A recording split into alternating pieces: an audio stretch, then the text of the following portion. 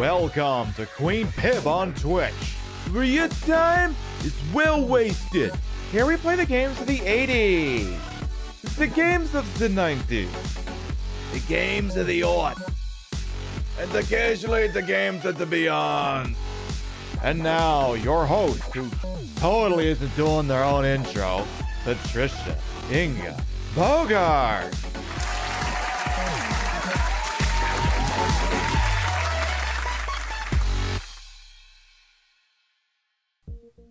Hey there, I'm Queen Pib, Patricia Inga Bogart.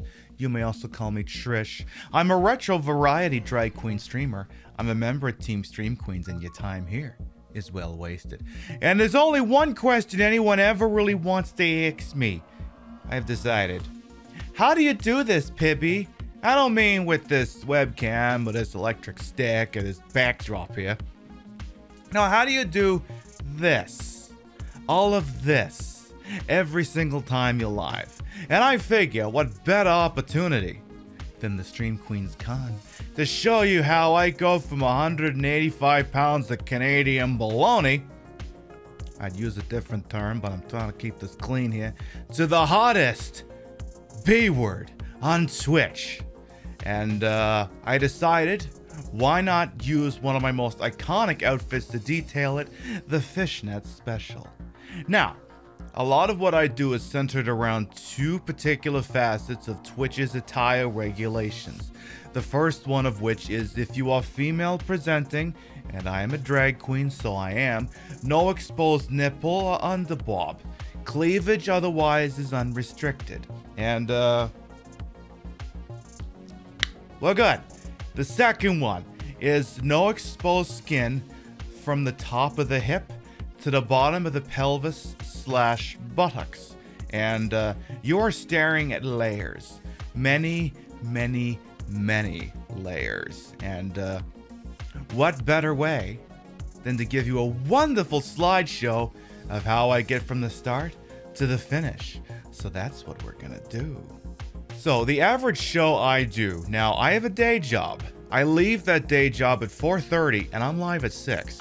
And even though a lot of people working from home from quarantine, a lot of days I'm still in the office. So what I do needs to be fast, convenient, easy for me to do. Something that I can get in, get into the house, eat something, do this, and then bam, live on the internet. So this is how I do what I do.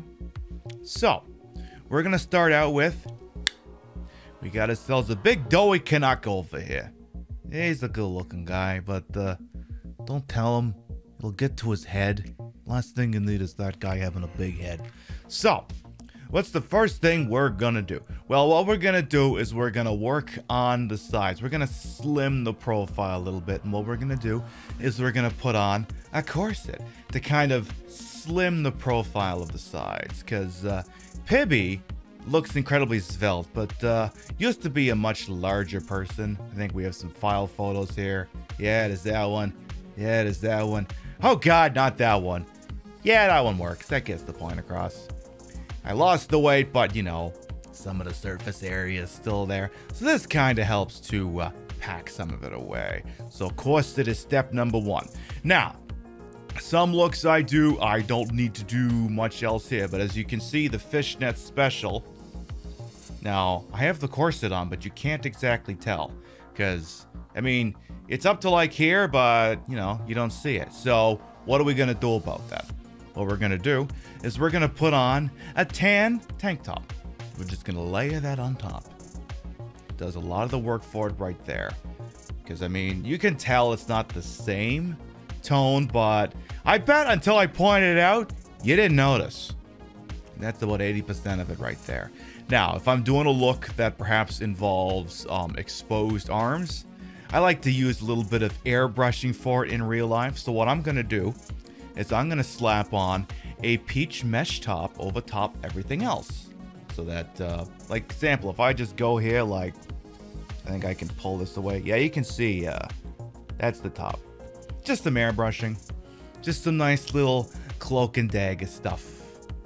All right, so what are we gonna do next? We've uh, we're nice and cinched We've uh, airbrushed some of us. What are we gonna do? Here's what we're gonna do. We could use some hips. So we're gonna put on some hip padding. Once again, some nice, wonderful hip padding. Purchased online at, uh, you know, that place we all like to buy stuff. Now, there's one downside with this garment. It um, tends to flatten out in your butt. And uh, I don't know if you've seen me, but a booty's kind of a booty's kind of half of what I do. So we're gonna fix that with a fake ass. Now, I used to wear three of these, and I mean it got a little tight until it dawned on me. Wait a minute. Why don't I just take the padding out of two of these things and stick them into the third? So, if we check the side view here, ooh, would you look at that? That's a booty. Now, as Elix said to me, now that's a booty that you could uh, set a Coke can on and it ain't gonna fall over. So there you go. What are we gonna do next? We're gonna start working on the legs. We're gonna start getting the dark tights involved. We're gonna put on one set of very dark tights. It's doing a good job of starting to hide the skin down there, but I mean, you can still tell where the um, the fake hips and the fake uh, fake booty are at. So we're gonna slap on another one, and now you can tell it's starting to become much more opaque, much, much more opaque. And then to bring everything back up, like you see here, we're gonna put on one set of tan tights.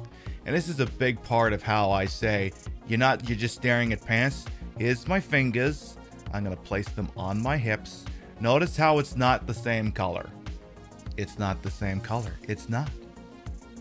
Pants. Seriously, I get this booty emote that Twitch keeps projecting, and it's like, it's not bare skin, it's pants. Whatever, I'm done having that argument with them for now. So next up, this ain't the fishnet special for nothing. So we're gonna put on some fishnets.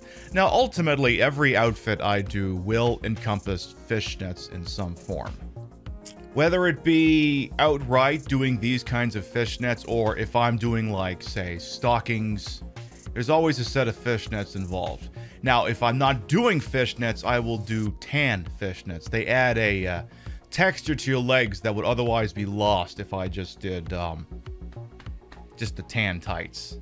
And it's, it's it's a good thing just to do in general. It just adds little hey, how you doing to your legs. So whatever whatever I do, there's always fishnets involved. So here comes the next part. The part, the only part anyone ever really cares about. Let's put on some boobs.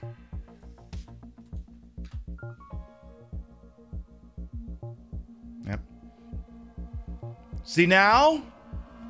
See, we were in compliance with Twitch's regulations that said if your female presents in no nipple on the bob and no exposed skin from top to hips to down here. But I'm gonna blur that out or put something over it. I don't know. I'll figure it out. Maybe I'll change it up as the video goes on. Now, I got a couple of different options in breasts. I started out using breast forms. They're like little, uh, they're like little uncooked chicken boobies.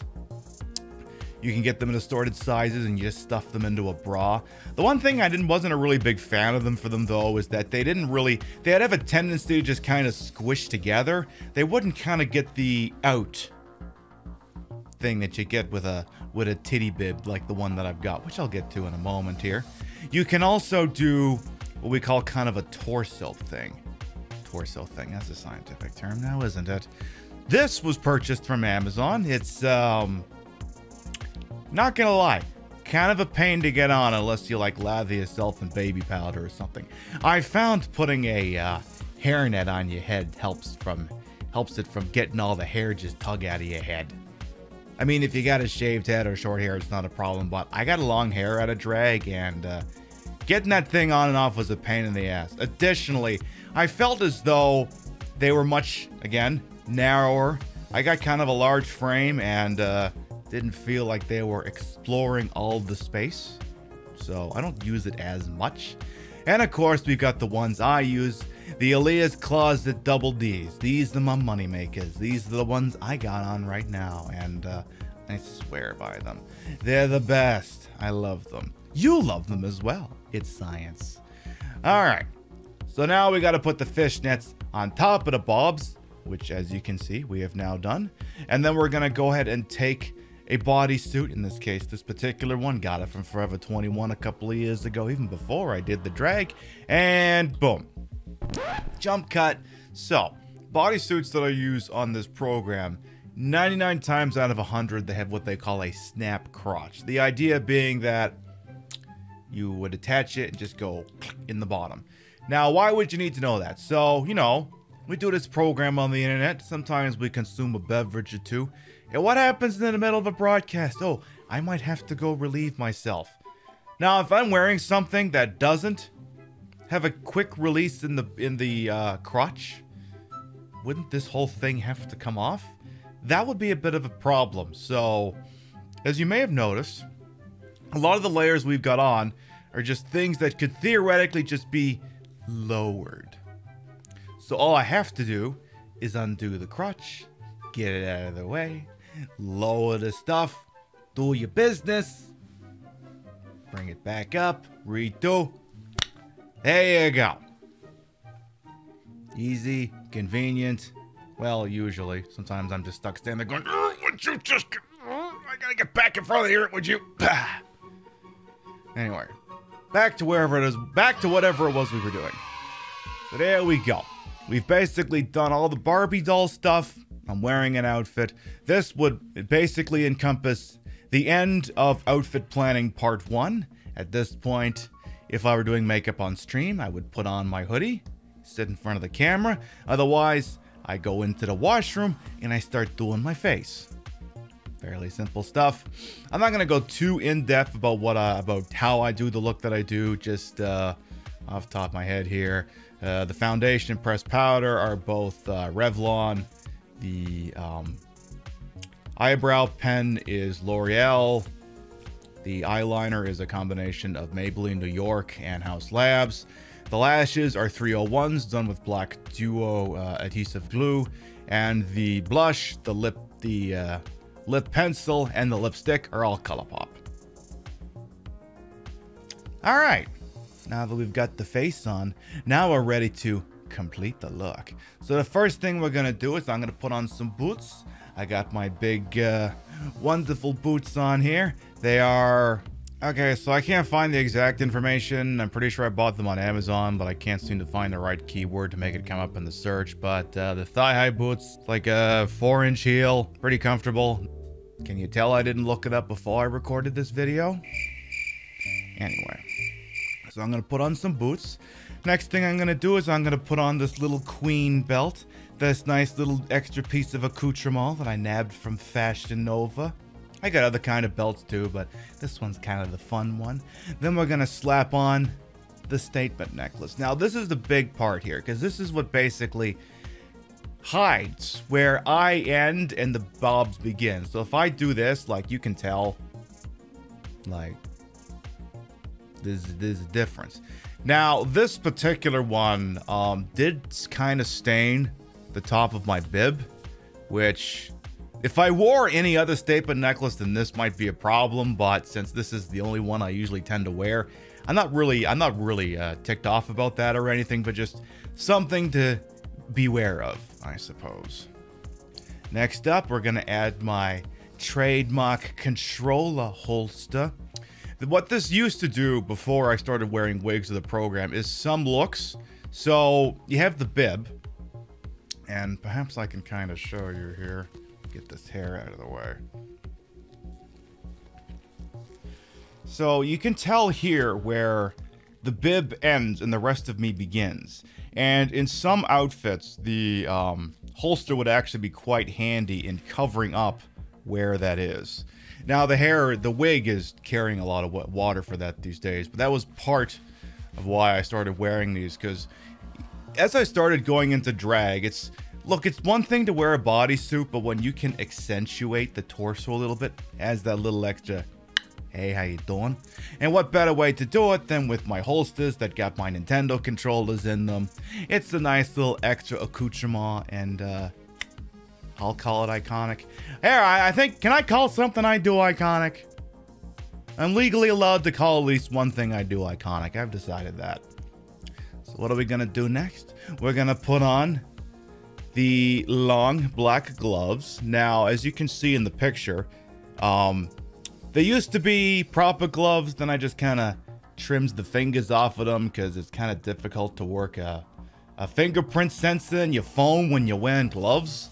And sometimes difficult to work the touch screen as well. I like taking a couple of selfies, so I just went ahead and I chopped that off. We're also going to put on some more accessories. We're to put on this nice little uh, Nice little armband here. I'm to put on my Pride wristwatch. I've gone ahead and gotten a bigger one. This is an Invicta Grand Diva. It's my big Pride watch. Now, the one thing about this band is, you know, it's only these stock Pride colors. It doesn't have all of them in there, which is kind of a shame. And I tell you what, as soon as you can convince a Chinese textile factory to start making the wristwatch bands that encompass all of the colors we like to use these days, I'll go ahead and slap that thing on my wrist. I will definitely do that. Now my ears are also pierced, so I will put in some earrings. Whatever I feel will go with the outfit. As well, I put on this black choker here, and um, it serves two purposes. One, a choker gives you a little extra, hey, how you doing? You happy to see me? Huh? But also, so I have as you can kind of see, I have a chin strap beard here. It's like one of the only facial hair configurations I can do that doesn't make me look like an idiot. But I don't present myself as a bearded queen, but I also make no real attempt to hide it. But what I can do is if I put the choker in just the right spot, some of you may not have even realized that facial hair was even there. Because if I go a little bit higher up, you can tell that my nat we my natural contouring is there. But like this, you probably didn't even notice. More smoke and mirrors. All right, what are we gonna do next? We're gonna go ahead and put on the wig. Now, I only started doing this recently. Um, I used to always do just my regular hair for um, for all my looks but it's like the one thing in like the last two years I haven't really innovated on. And the problem is when you're constantly using your own hair for your looks, sometimes it gets a little stale. Sometimes you're just not having a good hair day. So I was like, screw it. Let's do some wigs. So while I still consider the uh, undercut to be the stock look of this channel, I have dabbled into wigs and uh, I mean, I like it. You like it. Good enough for me. And then once I'm convinced I don't need to putz with anything else, I can put my big, big gloves on, my uh, Duke and Amount gloves, and then there you have it. We're done. Looks ready to go. I'm ready to go live. so there you go. That's how we went from nothing to this. Now, of course, like I said at the start of all this, this is how I strive to abide by Twitch's terms of services. Now, as to my understanding, is that how the how it's written, I think we're good. Now, ultimately, I am at the behest of whoever is enforcing the law on this platform at this time. I will say I've had multiple staff members come through, and I'm still here. But this is why I also take several steps to ensure that people know they're not staring at actually me.